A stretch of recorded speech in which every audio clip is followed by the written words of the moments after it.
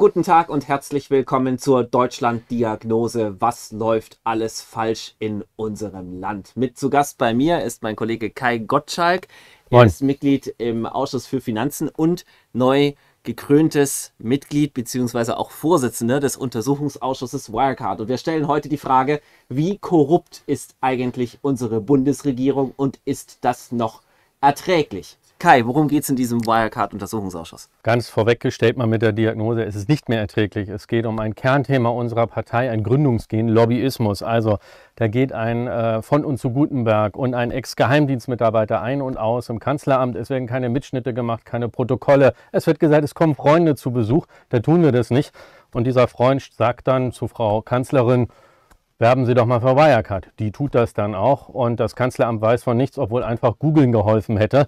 Und ich nenne ihn mal, nennen Sie immer die beiden Dream Boys oder Sunny Boys vom Kanzleramt. Einer war bei uns, Dr. Hoppenstedt, weiß von nichts. Es gibt keine Geheimdiensterkenntnisse. Ähm, ein trauriges Bild. Und dann fragen wir Parlamentarier zweimal bei der Bundesregierung an, ob eventuell BaFin-Mitarbeiter, die gerade Wirecard ja auch mit beaufsichtigen sollten, ja, vielleicht auch mit Aktien gedealt haben, der Aktiengesellschaft Wirecard. In der ersten Anfrage wird es verleugnet, in der zweiten muss man anerkennen, ja, es gab wohl einige Fälle und sicherlich werde ich da deutlich nachhaken. Wenn ich mir aber das Gesamtkonstrukt Deutschland anschaue, dann ist es doch mittlerweile seit der Wiedervereinigung so, man versucht Kompetenzen und Verantwortung auszulagern, damit die Bundesregierung sozusagen immer frei von jeglicher Schuld ist.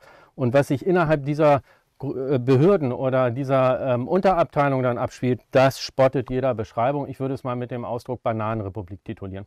Erinnerungslücken wie im Schweizer Käse waren ja schon Helmut Kohl zu eigen. Ist das ähm, etwas Spezifisches für die CDU oder gibt es da letztendlich äh, diese Tendenz in allen politischen Richtungen und Parteien? Du hast gerade angesprochen, ja. auch Ministerien und Unterabteilungen von Behörden sind betroffen. Ich würde mal sagen, das ist mittlerweile altparteienübergreifend. Da hilft vielleicht Galama. Ich mache jetzt mal Schleichwerbung. Aber Spaß beiseite, das ist natürlich purer Machterhalt. Und man versucht in einer Art von Salami- und Zermürbungstaktik uns als Opposition und gerade uns als größte Oppositionspartei an jeder Stelle hinzuhalten und natürlich das Unvermeidliche, ich denke, die Wahrheit wird ja ans Tageslicht kommen, so lange wie möglich rauszuzögern. Und ich werde alles versuchen, als Ausschussvorsitzender Licht in dieses Dunkel zu bringen. Aber der Zustand unserer Republik gibt mir arg zu denken. Auch zu Corona-Zeiten müssen wir nicht drüber reden. Das ist auch so ein Thema gerade. Äh, ich weiß nicht, wie du das siehst, aber ich habe das Gefühl, wir werden von einem neuen Zentralkomitee bestehend aus Ministerpräsidenten und Kanzlerin regiert. Ich weiß nicht, wie du das siehst. Äh, das ist in der Tat so. Wir haben letztendlich eine Zunahme von Exekutivgewalt und die Legislative wird gar nicht gefragt. Und was ja sehr interessant war in der Plenardebatte äh, zur Regierungserklärung der Kanzlerin, es war ja nur eine Erklärung, keine Beschlussfassung, war, dass die Abgeordneten der Regierungskoalition sagten, das wird ja auf Landesebene entschieden. Aber wenn du dann die Landtagsfraktionen fragst, da wird auch nichts entschieden. Das bedeutet, wir haben Exekutivgewalt auf, den, auf der Länderebene, die sich mit der Exekutivgewalt auf der Bundesebene letztendlich vereint, um die Legislative Exekutive, also uns Abgeordnete, die demokratisch gewählten Abgeordneten auszuschließen. Und das ist ein riesengroßes Problem. Und stattdessen fährt eben eine Angela Merkel nach China und bewirbt Wirecard. Was war denn eigentlich so toll an diesem Unternehmen, dass Merkel da tatsächlich auch noch Lobbyismus dafür betrieben hat? Also man sagt, äh, man hätte endlich mal wieder, aber das ist vielleicht auf andere Gründe zurückzuführen, ein Global Player in einem Wachstumssegment. Wir sind ja mehr Old Economy und da muss man sagen, fallen uns ja, wenn wir uns als Tiger bezeichnen, auch die Zähne raus. Autoindustrie im Wandel, Stahlindustrie wird verkauft. Äh, ganz andere Zweige sind schon in Deutschland platt gemacht worden. Biotechnologie, Gentechnologie, weil man äh, sich äh, aus, aus ethischen Gründen da verweigert hat. Und jetzt hatte man mal, so meinte man, wieder einen Big Player, der international tätig ist, neben SAP in dem Zukunftssegment eben äh, Internet- und Finanzdienstleistungen. Und das wollte, da wollte man an diese Story, glaube ich, äh, an der Stelle glauben. Man hat alles versucht und das ist ein weiteres Behördenversagen, was wir hier zur Sprache bringen müssen, nicht den Markt zu schützen, sondern man hat versucht, ein Unternehmen zu schützen. Das ist nicht Aufgabe der BaFin und äh, vieler anderer Mitarbeiter, sondern man hat hier ein eklatantes Marktversagen verursacht, im Glauben, endlich einen Global Player vor wen auch immer, wen auch immer schützen zu müssen. Das war, glaube ich, Kern- und Angelpunkt. Und dass eine Kanzlerin wir haben es im Ausschuss gesagt schon, vielleicht mal hätte googeln können mit ihrem Kanzleramt, dann wäre sie schon auf die Ungereimtheiten, ich sag mal Dan McCrum, den wir ja nächste Woche Mittwoch, den Financial Times äh, Redakteur und Journalisten haben werden, statt dem zu glauben und ich sag mal die Medaille umzudrehen, zu hinterfragen, kann da was dran sein, hat man den mit Klagen und Anzeigen überzogen, man hat ein Leerverkaufsverbot erlassen, was es noch nie in der Geschichte der Bundesrepublik in der Form gab. Also, wie gesagt, wir, wir kommen vielleicht ja noch auf andere Themenfelder, die das gleiche Bildnis zeigen. Ich kann, ich kann bei der Treuhand anfangen und kann von der Treuhand mich vorarbeiten zum äh, Untersuchungsausschuss. Wirecard kann zurückblicken auf Berateraffäre, Maut.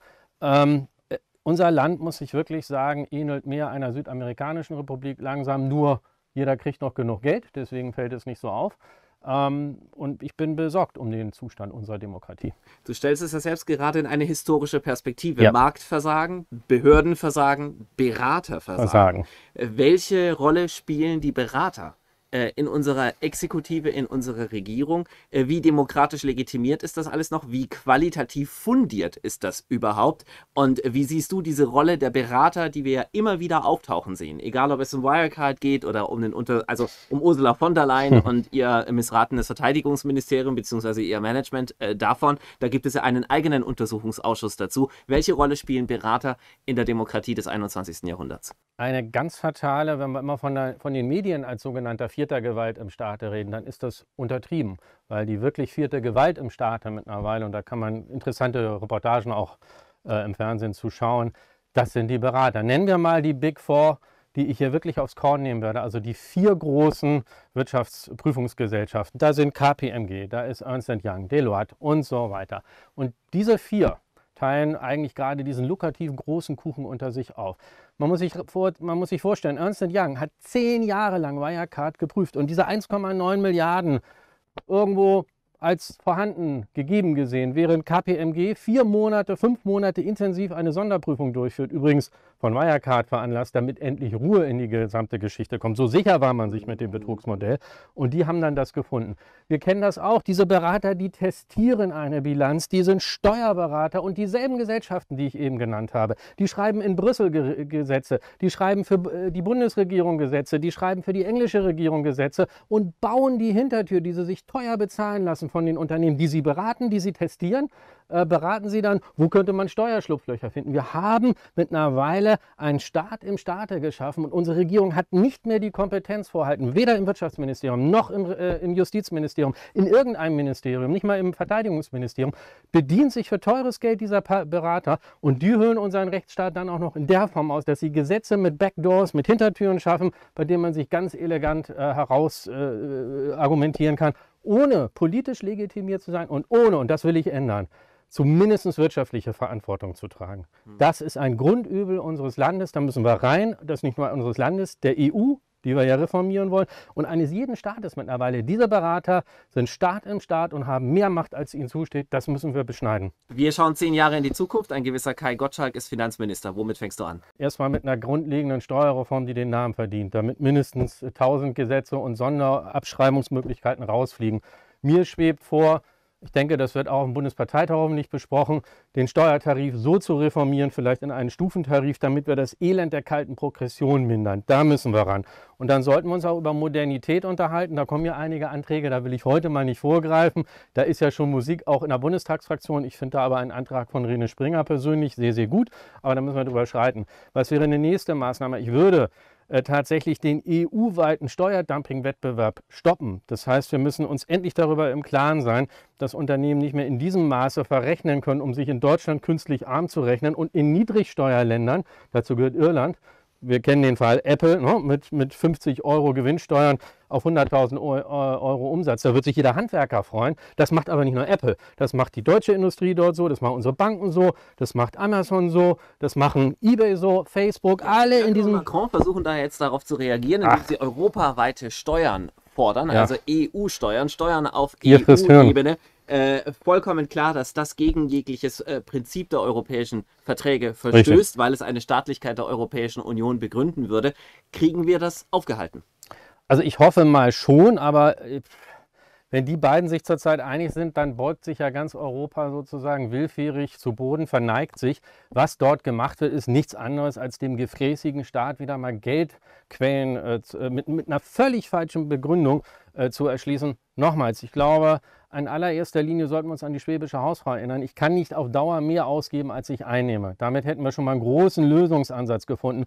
Wir könnten einsparen ohne Ende. Ich will jetzt nicht mit Gender-Gaga und vielen anderen Dingen anfangen. Aber wir haben alleine im Familienrecht über 160 Regelungen die sich teilweise widersprechen. Wir geben so viel Geld in unserem Land für Kinder und Familien aus wie kein anderes Land und trotzdem Resultate null. Das heißt, ich glaube, wir sollten auf eine echte Familienförderung einsteigen. Da kommen auch Anträge, die ich mit Professor Dr. Hessenkemper äh, mal vorbereitet habe. Wir sollten tatsächlich zu einem echten Familiensplitting kommen. Wir sollten nicht die Heirat dazu legitimieren, Steuerdumping zu betreiben. Das war nie, glaube ich, Gedanke des Gesetzgebers vor über äh, nunmehr 70 Jahren.